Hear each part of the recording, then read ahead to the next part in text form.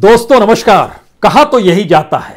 कोई भी बात बार बार कहिए, ज़ोर से कहिए, कई बार कहिए तो जनता उसे सच मान लेगी। और यह बात कोई आज की नहीं है। बरसों बरस से इस देश की सरकारों ने ऐसा काम किया है। लेकिन मौजूदा वक्त में बार बार कहने के तरीके बदल गए हैं।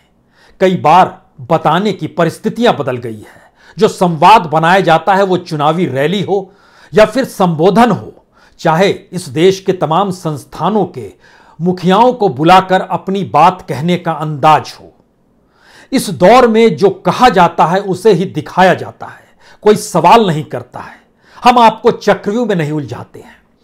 हमें लगता है कि आपको अब इन बातों को समझना होगा जो इस देश में प्रधानमंत्री जब संवाद बनाते हैं और जिन बातों को सामने रखते हैं, इस देश के भीतर में जो नियम कायदे बनते हैं, इस देश के भीतर में जब ऑर्डिनेंस लाए जाते हैं और इस देश की आर्थिक परिस्थितियों से दो दो चार होते हुए लोग टेलीविज़न स्क्रीन पर प्रधानमंत्री के साथ संवाद को देखते रहते हैं, एक तरफा संवाद को सुनते हुए मान लेते हैं, यही सच है।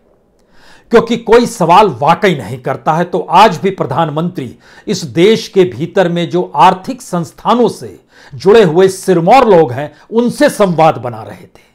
उन्होंने बैंकों का ज़िक्र किया, एनपीए का ज़िक्र किया। इससे पहले सरकार ने इस देश की ईडी और सीबीआई को लेकर ऑर्डिनेंस लाने का ज़िक्र कर दिया है। विपक्ष विरोध भी कर रहा है। इस देश के भीतर में जितने भी संस्थान जो भ्रष्टाचार की जाँच करते हैं, उसमें एक नाम लोकपाल का भी है। लेकिन सच क्या है? इनके भीतर क्या वाकई कुछ होता है? या इस देश के भीतर में खाना पूर्ति के लिए अलग अलग संस्थान अलग अलग जगहों पर सिर्फ़ काम करते हैं? और जो बात सरकार कहती है, उसे हर किसी को सच मानना पड़ता है। आज बात का सिरा शुरू कहाँ से किया जाए यह इसलिए महत्वपूर्ण है क्योंकि आज प्रधानमंत्री ने एनपीए का ज़िक्र छोड़ दिया। एनपीए यानी बैंकों द्वारा लिया गया कर्ज लेकर ना लौटा पाने की परिस्थितियाँ। प्रधानमंत्री ने कहा, रिकवरी पाँच लाख करोड़ से ज़्यादा की हुई है। 2014 से पहले बड़ी लूट मची हुई थी, बैंकों की स्थिति खास्ता हो चली थी। उन्होंने उसको फिर से डिज़ाइन किया और मज़बूत स्थिति में लाकर खड़ा कर दिया। तो आज बात बैंकों से ही हम शुरू करते हैं। और खास तौर से पहला टर्म प्रधानमंत्री का 2014 से 2019 तक का। खुद सरकार का आंकड़ा बताता है कि चार लाख संतावन हज़ार छह सौ बारह करोड़ रुपए सरकार ने रिकवरी की, बैंकों ने रिकवरी की। यानी प्रधानमंत्री ने सच बोला, कोई झूठ नहीं बोला। लेकिन उन्होंने एक ही बात बोली कि रिकवरी पहले होती नहीं थी और रिकवरी के साथ साथ बैंकों की स्थिति बड़ी सुदृढ़ हो चली है। तो इसका दूसरा सच यह है कि जिस दौर में लगभग साढ़े चार लाख करोड़ रुपया बैंकों ने रिकवरी की है उससे कहीं ज़्यादा सरकार ने रिटर्न ऑफ़ कर दिया, यानी जो कर्ज लेकर नहीं लौटा रहे थे, उन्हें माफ़ी दे डाली। माफ़ी देने की परिस्थिति में पाँच लाख पाँच हज़ार चार सौ दस करोड़ है। इसका ज़िक्र प्रधानमंत्री ने नहीं किया। प्रधानमंत्री ने इसका ज़िक्र भी नहीं किया आज कि दरअसल 2014 में जब उनके पास सत्ता आ रही थी, उस वक्त इस देश का कुल एनपीए जो था, वह तकरीबन दो लाख तीस हज़ार करोड़ का था। जो आज की तारीख में बढ़ते बढ़ते 10 लाख करोड़ तक पहुँचने की स्थिति में है और अगर हम 2019 के मई तक की परिस्थिति को ले लें, जब पाँच साल पहले टर्म के पूरे हो रहे थे तो उस समय तकरीबन 8 लाख करोड़ था। लेकिन 8 लाख करोड़ बैंकों की किताब में था। उसमें पाँच लाख करोड़ वो अतिरिक्त है जिसे माफ़ किया गया। उसमें साढ़े चार लाख करोड़ अतिरिक्त है जो वसूली कर ली गई यानी किसी तरीके से रिकवरी हो गई। यानी इस दौर में जितनी बड़ी तादाद में कर्ज दिया गया उसका लगभग 50 फ़ीसदी कोई लौटाने वाला नहीं है और 25 फ़ीसदी सरकार माफ़ कर देती है और 25 फ़ीसदी की रिकवरी हो गई। चलिए इसकी तुलना थोड़ा पहले मनमोहन सिंह के दौर में चले चलते हैं। उस दौर में जो रिकवरी हो रही थी वह 82,000 करोड़ की थी। जो रिटर्न ऑफ़ किया जा रहा था वो 60,000 करोड़ का था। और जो लोन लिया गया था वह दो लाख चौबीस हज़ार करोड़ का था। उस तुलना में जब आप अभी आते चले जाएँगे तो आपके जहन में यह सवाल होगा, क्या उसको गुना करें और प्रतिशत निकालें? तो प्रतिशत की स्थिति यह है कि बैंकों के ऊपर जो एनपीए का परसेंटेज था, वह आज की तारीख में यानी 2019 को ही हम बीच में रख रहे हैं, जो पहले पाँच साल थे, वह 11.2 परसेंट था। उस समय जो परिस्थिति थी, वो लगभग 6 परसेंट था। बढ़ गई चीज़ें, छुपाया गया। लेकिन इस छुपाने की परिस्थिति के साथ एक दूसरी परिस्थिति भी निकलती है कि इस दौर में जो कर्ज लेकर नहीं लौटा रहे थे, उनमें से कितने लोग देश छोड़कर भाग गए। और दुनिया के बीच से अलग अलग लिस्ट इस दौर में जो ब्लैक लिस्टेड की आई, उसमें जो अलग अलग पर्चे आए, वो भी डॉक्यूमेंट हमारे पास है, जो लग्जमबर्ग लीक से शुरू होता है, स्विस लीक तक आता है। बहमास लीक पहुँचता है, पनामा पेपर आता है, पैराडाइज पेपर आता है, पंडोरा पेपर आता है, ये सारे पेपरों को समझते समझते समझ में आया कि तकरीबन इसमें ढाई हज़ार लोग ऐसे हैं जिन्होंने भारत के बैंक से कर्ज लिया, उसके बाद वो यहाँ से निकलकर दूसरे देशों में चले गए हैं। उसको किसी ने रोका क्यों नहीं? और बैंकों ने जो इस दौर में रिटर्न ऑफ़ किया गया सरकार के ज़रिए, वह उन्हीं के द्वारा लिया गया पैसा है। यह एक पहली परिस्थिति है। दूसरी परिस्थिति तुरंत आपके जहन में आनी चाहिए, भारत में इस वक्त दो ही एजेंसी काम कर रही है, एक सीबीआई है और एक ईडी है। यह दोनों करप्शन को भी पकड़ती है, या करप्शन को ही पकड़ती है। लेकिन सच यह है कि अब सीबीआई और ईडी के जो डायरेक्टर्स होते हैं, जो चेयरमैन या चीफ पोस्ट होता है, उनके लिए सरकार ऑर्डिनेंस लेकर आ रही है कि उनके पद पर जो व्यक्ति बैठा होगा, वो पाँच साल के लिए कम से कम बैठे। सरकार का कहना है कि काम करने में सुविधा होगी और वो अधिकारी जब एक विजन के साथ काम कर रहा होगा तो पाँच साल तक उसे कोई हटा नहीं सकता है, चाहे सरकारें बदल जाएँ। ऐसी परिस्थिति होनी चाहिए, एक अच्छी सोच है, लेकिन लेकिन इसके भीतर का सच क्या है? इसके भीतर का सच यह है कि सीबीआई के पास जितने मामले आज की तारीख में लंबित पड़े हैं, वह कुल मामले लगभग नौ हज़ार सात सौ संतावन मामले हैं। इसमें से सबसे ज़्यादा मामले इस बीते सात बरस में मोदी काल के ही हैं, चार हज़ार सात सौ तिरसठ मामले, जो अलग अलग अदालतों में लंबित पड़े हैं सीबीआई की अपनी जाँच में लंबित पड़े हैं। इतने मामले मनमोहन सिंह के दस काल में नहीं आए थे, उस दौर में भी चार हज़ार एक सौ ही मामले आए थे। एक्यूरेसी चाहिए तो चार हज़ार एक सौ चौबीस मामले आए थे। अटल बिहारी वाजपेयी के दौर के भी कुछ मामले, लगभग आठ सौ उनहत्तर मामले उस दौर के हैं। सब मिला दीजिएगा तो नौ मामले लंबित पड़े हैं, लेकिन इससे बात साफ़ होती नहीं है। बात इससे साफ़ होगी कि तकरीबन इसमें से 2000 मामले ऐसे हैं जिसमें सीधे सीधे पॉलिटिशियंस का जुड़ाव है। ये पॉलिटिशियंस 2000 मामले जो हैं, ये माइनस बीजेपी हैं। दूसरी पॉलिटिकल पार्टी के मामले हैं। और इसके दायरे में इस देश के नौकरशाह भी आते हैं, आईएएस भी आते हैं, आईपीएस भी आते हैं। आपको जानकर हैरत होगी कि मोदी काल में जो आईएएस, इनके मामले जो सीबीआई के पास पहुँचे शिकायतों के तौर पर वो तकरीबन तीन हज़ार सौ अड़सठ मामले हैं। 2015 से 2021 तक। बरस दर बरस आईएएस का जो रिकॉर्ड है करप्शन को लेकर वह दर्ज होता गया मामला, जैसे 2015-16 में चार सौ चौरासी मामले 16-17 में चार सौ चौरासी मामले 17-18 में 623 मामले 18-19 में 643 मामले 19-20 में सात सौ तिरपन मामले 2020-21 में पाँच सौ इक्यासी मामले, कुल साढ़े तीन हज़ार मामले के करीब है मामला। और जो इस वक्त जो जाँच हो रही है, जितने आईएएस की, उसमें चौवालीस आईएएस हैं, बारह आईपीएस हैं, इनकी जाँच हो रही है। लेकिन जो पॉलिटिकल नेताओं से जो जाँच चल रही है, मौजूदा वक्त में जो पॉलिटिक्स में कर रहे हैं, वह अलग अलग विपक्षी राजनीतिक दलों के नेता हैं, उसमें 87 पॉलिटिशियंस हैं। सीबीआई एक ऐसी संस्था है जो पॉलिटिकल औज़ार के तौर पर देखी जाती है। तो इतने पॉलिटिशियन की जाँच अगर सीबीआई कर रही है तो सरकार चाहेगी कि उसके अनुकूल परिस्थितियाँ बनी रहे, जिससे एक डर और भय की परिस्थिति में लाकर खड़ा कर दिया जाए। सवाल यह है कि क्या उन सत्तासी पॉलिटिशियंस को जेल में बंद नहीं हो जाना चाहिए? लेकिन यहाँ बंद किसी को नहीं किया जाता है। क्यों नहीं किया जाता यह हम बताएँगे, लेकिन उससे पहले एक दूसरी संस्था ईडी है। इन्फोर्समेंट डायरेक्टरेट उसके पास 122 पॉलिटिशियंस के नाम हैं, जिसमें से 98 पॉलिटिशियंस मौजूदा वक्त में राजनीति कर रहे हैं। उसमें कांग्रेस भी है डीएमके भी है टीएमसी भी है आरजेडी भी है नेशनल कॉन्फ्रेंस भी है। बड़ी तादाद में टीएमसी के लोग हैं। बड़ी तादाद में कांग्रेस के लोग हैं। कांग्रेस के वो कैप्टन भी हैं, हुडा भी हैं, जो अब तो कैप्टन तो अलग निकल गए पंजाब में, लेकिन छोड़ते ही वो पहली मुलाकात उन्होंने इस देश के गृहमंत्री से क्यों की, या सरकार के वो कितने निकट हैं, क्या ये सारी बातें निकल कर आ रही थी, वैसे कर्नाटक के शिव कुमार भी हैं। तमाम नेताओं की फहरिस्त है इसमें, लेकिन सवाल है कि 98 पॉलिटिशियन जो मौजूदा वक्त में राजनीति इस देश में कर रहे हैं, उनका नाम ईडी की लिस्ट में है। आज नहीं, कल उनको बुलाया जाए, पेशी हो, बंद क्यों नहीं किया जाता, ये एक सवाल अलग है। तो ईडी और सीबीआई दोनों को मिला दीजिएगा तो तकरीबन इस देश के भीतर में 175 पॉलिटिशियन आ जाएँगे। इसमें से इस 175 में से 22 पॉलिटिशियन ऐसे हैं जिनके खिलाफ सीबीआई भी जाँच कर रही है और ईडी भी जाँच कर रही है। यह पॉलिटिकल एक एस्पेक्ट है जिसको बताने की ज़रूरत थी। अब यहाँ पर एक दूसरी बात शुरू होती है। इस देश के भीतर में जाँच का डॉक्यूमेंट सबसे ज़्यादा पहुँचता है लोकपाल। अगर आपको याद हो तो दिल्ली में केजरीवाल की सत्ता लोकपाल के आंदोलन से ही निकल कर आई थी। जो अन्ना का आंदोलन था और लोकपाल का मतलब था कि करप्शन पर नकेल कसने के लिए लोकपाल की नियुक्ति हो और उसके दायरे में प्रधानमंत्री भी आ जाए। यानी वह भी करप्शन कर रहा है तो उसी पकड़ ले। इसका मतलब है, इस देश के मंत्री, पार्लियामेंट्रीज, इस देश के एमएलए इस देश के स्टेट मिनिस्टर, सभी इसके दायरे में आ जाए और तमाम इंस्टीट्यूशन आ जाएँ।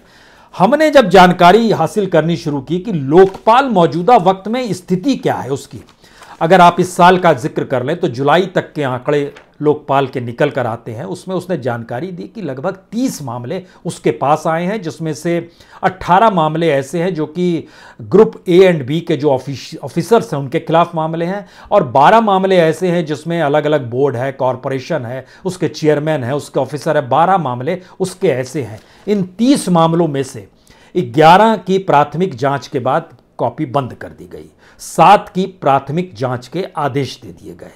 तीन पर और जानकारी मांगी गई। एक की स्टेटस रिपोर्ट चाहिए, एक पर कमेंट चाहिए डिपार्टमेंट का। जिसका कमेंट चाहिए, वह कमेंट उनको चाहिए कॉरपोरेट अफेयर्स से, जिसे एक मामले में चाहिए। ये तीन मामले सीबीआई के पास भी इन्होंने भेज दिए। इस साल का हम ज़िक्र कर रहे हैं आपसे 2021 का। और सेंट्रल विजिलेंस कमीशन से सीवीसी के पास भी दो केस भेजा गया प्राइमरी इंक्वायरी कीजिए, एक में स्टेटस रिपोर्ट कीजिए।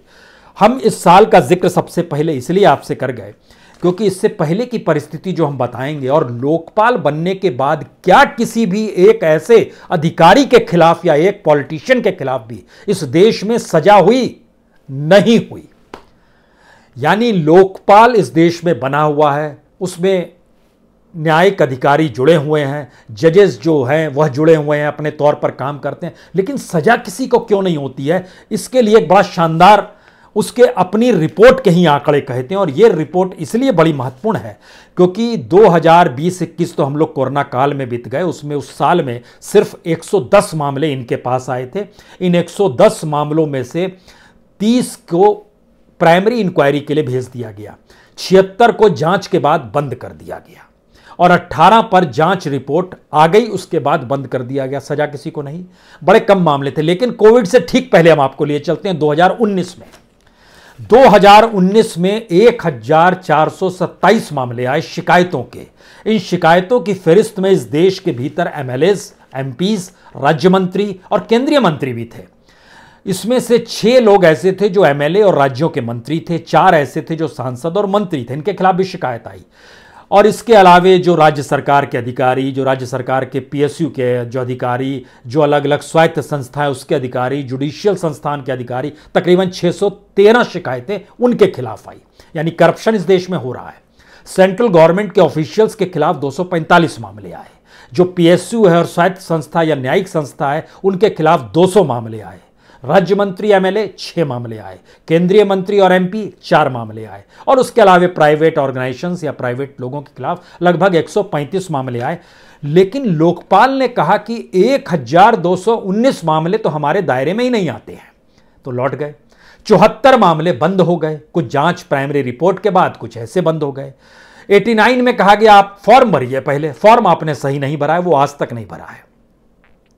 चौंतीस मामले डिपार्टमेंट को भेज दिए गए, एक्शन तो कुछ लीजिए।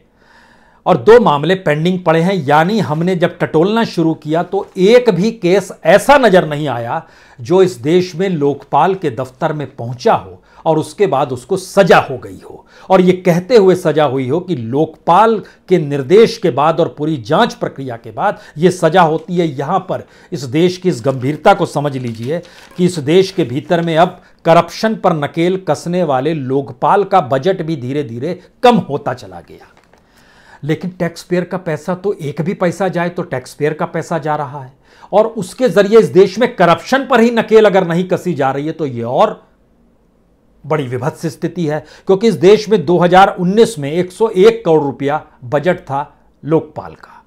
वह 2020 में घटकर चौहत्तर करोड़ हो गया और इस बार वो घटकर लगभग 40 करोड़ पर आ गया। एक्यूरेसी के साथ उनचालीस करोड़ चौहत्तर हज़ार रुपए। बजट भी कम हो गया, लेकिन इस पूरी प्रक्रिया में जब हम आपसे ज़िक्र कर रहे हैं तो जरा यह समझिए, इतनी बड़ी संस्था इस देश के भीतर में करप्शन पर नकेल कसने के लिए इतने बड़े आंदोलन, और इस आंदोलन की परिस्थिति में आज प्रधानमंत्री का भाषण जब बैंकों को लेकर हो रहा है, तब दोबारा बैंक के पास फिर लौटिए, क्योंकि उससे जुड़े हुए डॉक्यूमेंट्स कुछ इसलिए बेचैन करते हैं क्योंकि वह फहरिस्त ये बताने के लिए काफ़ी है, जो सरकार के अपने डॉक्यूमेंट्स बतलाते हैं। इसमें ये जानकारी बहुत साफ़ आती है कि कितनी बड़ी तादाद में जो केसेस पहुँचे और सरकार ने यह भी आज ज़िक्र किया कि उन्होंने अलग अलग कानून बना दिए। करप्शन थम जाए, चाहे वो आईबीसी का कानून हो, चाहे वो एनसीएलटी को बनाया गया हो। इसका भी जब डाटा सरकार के ज़रिए हमने परखना शुरू किया कि आखिर प्रधानमंत्री को इन सब चीज़ों को बोलने की ज़रूरत क्यों पड़ती है? पहले राउंड में निकल कर आया। एनपीए बढ़ गया। एनपीए पर कितना भी इंटरेस्ट लगा दीजिए 2014 के बाद अगर इस सरकार ने एनपीए नहीं हुआ होता तो वह घट गया होता। लेकिन इंटरेस्ट लगाने के बाद भी अगर वो बढ़ता सपोज़ कीजिए दो लाख चौबीस हज़ार पर आप इस देश में 20 परसेंट इंटरेस्ट लगा देते और तब से लगातार मानकर चलते, पैसा नहीं लौटाया जा रहा है तो भी ये बढ़ते बढ़ते इतना नहीं पहुँचता जितना आज की तारीख में आकर खड़ा हो गया है। ये तकरीबन उसके डबल हो जाता। अब आप समझिए कि जब ये 10 लाख करोड़ के लगभग एनपीए, लगभग 2021 तक का हम आपसे ज़िक्र कर रहे हैं, और लगभग सात लाख करोड़ से ज़्यादा माफ़ी, पाँच लाख करोड़ के लगभग रिकवरी, इसके मतलब क्या है? जब आप परसेंटेज में निकालेंगे तो इससे पहले जो रिकवरी होती थी, वो परसेंटेज अभी की तुलना में बहुत हाई है। पहले की तुलना में अभी एनपीए की परिस्थिति बहुत हाई है। पहले की तुलना में अभी के दौर में रिटर्न ऑफ़ कई गुना ज़्यादा है। यानी पहली स्थिति बैंकों की उन परिस्थितियों को समझना है जिसमें लगातार जो रिकवरी का ज़िक्र है खास तौर से इस दौर में जो टॉप मोस्ट दस ऐसी संस्थाएँ जो सबसे ज़्यादा लोन लेकर नहीं लौटाने की परिस्थिति में आई, उनसे जो रिकवरी का जो ज़िक्र सरकार करती है, वो लगभग 40 परसेंट करती है। लेकिन 60 परसेंट वह उन्हीं को दे दिया। रिकवरी नहीं हुई और वह जो 10 टॉप मोस्ट कंपनियाँ हैं उन कंपनियों के मालिकानों से जब आप मिलेंगे तो मालिकानों के पास चार्टेड है। वो मालिकान बेहद रईसी में रहते हैं, क्योंकि सरकार के अपने डॉक्यूमेंट्स ही जब इस बात का ज़िक्र करते हैं कि जनाब, इतने सारे परिस्थितियों में हम हम वसूली भी कर पा रहे हैं तो यह भी बड़ी बात है तो उसमें एक से एक लोग हैं। उसमें जूम डेवलपर्स है विंसन डायमंड है ज्वेलरी है डेक्कन क्रॉनिकल है फ़र्स्ट लीजिंग कंपनी है बायोपालर इंडस्ट्री है सूर्या फार्मास्यूटिकल्स है प्राइम इम्प्लेक्स है भूषण पावर है। ये तमाम एक के बाद एक निकलते चले जाएँगे और इसमें जो चूना इस देश के भीतर में जो सार्वजनिक सेक्टर और बैंकों को लगा है पब्लिक सेक्टर के बैंकों को, उसको अगर एक क्षण के लिए रैंडमली अगर आप ये समझिए 2018 का साल आप चुन लीजिए, जो 2015 से 2021 के बीच में आकर खड़ा होता है। तो एक हज़ार चार सौ तिरसठ अकाउंट्स जो थे, वो बैड लोन में चले गए। उसमें उनके ऊपर तकरीबन, हर के ऊपर 100 करोड़ से ज़्यादा का कर्ज है। 100 करोड़ मिनिमम बतला रहे हैं, जो उसके ऊपर निकल कर आया। इसमें एसबीआई के पास दो सौ पैंसठ अकाउंट कुल मिला के सतहत्तर हज़ार सौ अड़तीस करोड़ रुपया नहीं वसूली हो पाई। स्थिति बिगड़ गई। पीएनबी के पास 143 अकाउंट यूनियन बैंक के पास 79 अकाउंट ओरिएंट बैंक के पास 68 अकाउंट, यूको बैंक के पास 62 अकाउंट। हम इन बातों का ज़िक्र 2018 के मद्देनजर सिर्फ़ कर रहे हैं। लेकिन जब आप पूरे को समाहित कीजिएगा, तब आप समझ पाइएगा इस देश के भीतर में जनता के पैसे पर किस तरीके से इस देश के कॉरपोरेट की रईसी चली और उस कॉरपोरेट ने किस तरीके से सरकार को पॉलिटिकल फंडिंग के ज़रिए लाभ पहुँचाया या जिन भी परिस्थितियों में लाभ पहुँचाया, क्योंकि भारत की अपनी आर्थिक परिस्थितियाँ जिस करप्शन को पकड़ने की दिशा में जाती, वही आर्थिक परिस्थितियाँ सरकार की इकोनॉमी को आगे बढ़ाने लगी, सरकार के अपनी पूंजी को आगे बढ़ाने लगी। तो ये शायद ऐसा कर सकते हैं कि जब आप सुने, जब आप मोदी पैकेज का ऐलान सुनते हैं किसी पॉलिटिकल रैली में तो आँखों को बंद रखिए। देखना भूल जाइए, क्योंकि जब हमने इसका जब एनालिसिस शुरू किया कि बार बार कहना, कई बार कहना, ज़ोर से कहना, अच्छे शब्दों का इस्तेमाल कर कहना, भाषण एक शानदार लिखाना और उसके बाद संवाद बनाना। तो इस संवाद की शुरुआत अगर पॉलिटिकल तौर पे आप देखना चाहते हैं तो आपको लौटना पड़ेगा बिहार इलेक्शन। 2015 के बिहार इलेक्शन में जब इन्होंने सवा लाख करोड़ के पैकेज का ऐलान किया था। 2015 में सवा लाख करोड़ रुपया का पैकेज का ऐलान और 2020 में पाँच साल बाद जब चुनाव आया तो इतनी हिम्मत वो बाँध नहीं सके जिससे वो ऐलान कर सके, क्योंकि उस समय डाटा जो निकल कर आया और हम लोगों ने उस पर जो काम किया, वो पता चला कि सवा लाख करोड़ रुपए का पैकेज जो बिहार के लिए 2015 में ऐलान किया गया था, उसमें जो काम हुआ, शुरू जो हुआ, वह एक हज़ार पाँच सौ उनसठ करोड़ का। कितने परसेंट है ये आप सोचिए? क्योंकि 2020 के इलेक्शन में इन्होंने बीस हज़ार करोड़ के प्रोजेक्ट को लॉन्च भी किया। सवाल यह है कि बिहार इलेक्शन के बाद, अब आप देखिए इस देश के 16 राज्य हम आपको गिना देते हैं तो कुछ चीज़ें और साफ़ होगी।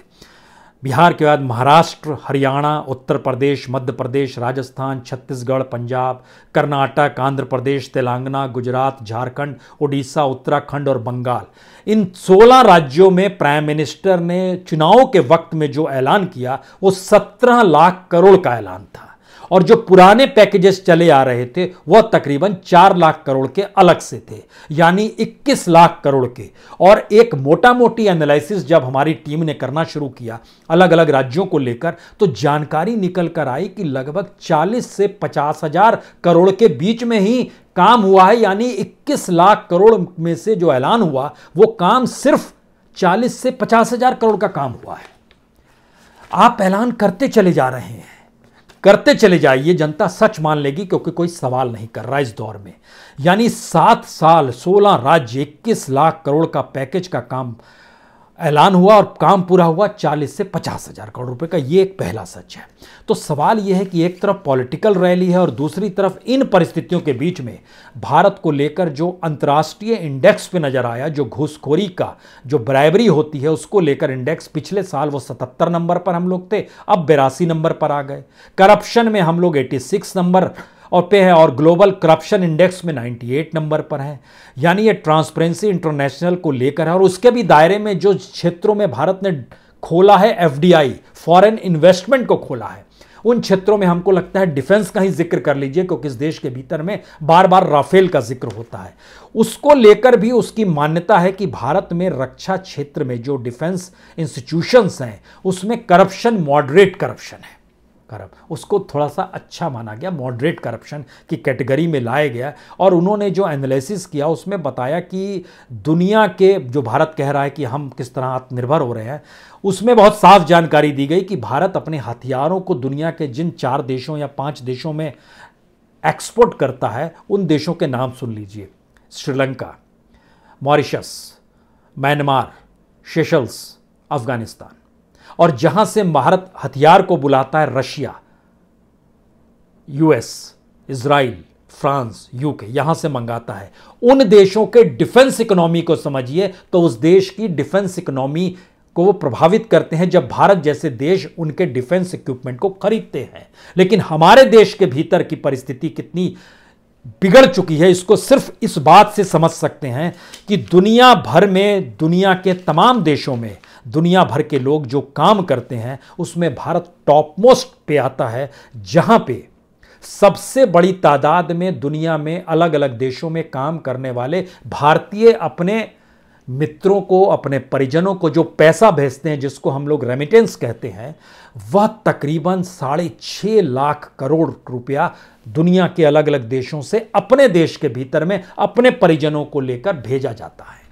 और इस देश के भीतर में जो लोग कमाते हैं, वह भी साढ़े छह लाख करोड़ रुपया नहीं कमा पाते हैं। उस मिडिल क्लास का हम ज़िक्र कर रहे हैं, जिससे टैक्स वसूला जाता है और उस टैक्स का पैसा कहीं पर किसान सम्मान निधि में जाता है, कहीं पर गाँव के भीतर में कहते हैं आवास योजना हमने दे दी, कहीं कहते हैं हमने उज्ज्वला योजना दे दी। यानी मिडिल क्लास से टैक्स वसूली वोट बैंक के लिए नीचे बांटना, कॉरपोरेट को रियायत देना, उसके ज़रिए भारत के बैंक के अंदर खोखला बनाने की परिस्थिति, ये एक ज़बरदस्त साइकिल है। जिस साइकिल की इकोनॉमी का अनूठा सच यही है, क्या हमारे पास वाकई कोई ऐसी इकोनॉमिक स्ट्रक्चर है जिसके ज़रिए हम कोई बात कह सकें कि आने वाले वक्त में इस देश के भीतर में आम लोगों को यह रियायत और राहत मिलेगी? नहीं कह सकते हैं।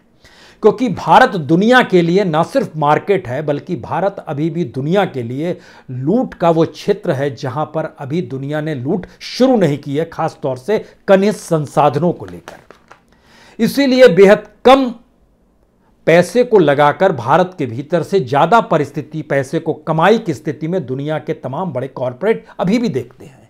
वो रियायत चाहते हैं ज़मीन चाहिए इंफ्रास्ट्रक्चर चाहिए लेबर सस्ता में है, यहाँ से माल उठाने के लिए उस बेसिक इंफ्रास्ट्रक्चर को खड़ा किया जा रहा है, चाहे वो रेलवे का हो, चाहे सड़क का हो, चाहे वायुयान का हो। लेकिन उस स्ट्रक्चर से इस देश के लोगों को क्या लाभ मिल रहा है, यह अपने आप में एक सवाल है। तो करप्शन की एक ऐसी परिस्थिति में भारत खड़ा है, जहाँ पर अगले बरस छः पी बिकने को तैयार हैं B P C L B E M L shipping corporation of India Pawan Hans Central Electronics Nilanchal इस्पात निगम और एलआईसी का 10 परसेंट शेयर बेचने की बात है, उसको आईपीओ लाने की बात है और उन सब के ज़रिए हम लोग मान कर चल रहे हैं, डेढ़ दो लाख करोड़ रुपया कमा लेंगे। सरकार सोच रही है, सरकार तो चलती रहनी चाहिए। आखिरी सवाल। करप्शन ऑर्गेनाइज दुनिया के तमाम देशों में हर किसी ने देखा है। लेकिन करप्शन की जाँच भी करप्ट हो जाए और वह भी ऑर्गेनाइज वे में काम करने लगे, यह सिस्टम दुनिया में आपने कहीं नहीं देखा होगा। जो यहाँ पर नज़र आने लगा है, वह भी लोकपाल के ज़रिए क्या। यह भी एक सवाल है। बहुत बहुत शुक्रिया। बहुत बहुत शुक्रिया।